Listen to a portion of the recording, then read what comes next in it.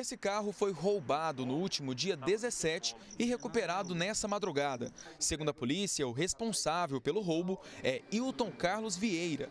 Ele já tem passagem pelo crime de tráfico de drogas. Gregory Correia é apontado como o comparsa de Wilton. Eles foram presos no Parque Santa Rita, em Goiânia. O Wilton, por sua vez, falou que o veículo havia sido deixado na residência pelo Gregory e indicou o endereço onde esse estaria. Né? Eles foram até o local e chegando lá não encontraram o Gregory. Todavia, no momento que eles estavam conversando com o pai do Gregory, esse passou num veículo Polo juntamente com o Matheus. Quando eles avistaram a viatura, eles se evadiram em fuga.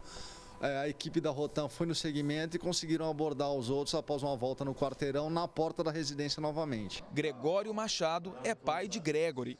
Ele foi preso por desacatar os policiais. O senhor Gregório, né, que é o pai do Gregório, ficou bastante alterado e desacatou a equipe da Rotan e acabou sendo autuado aí pelo crime de desacato e trazido aqui para a Central de Flagrantes para os procedimentos legais.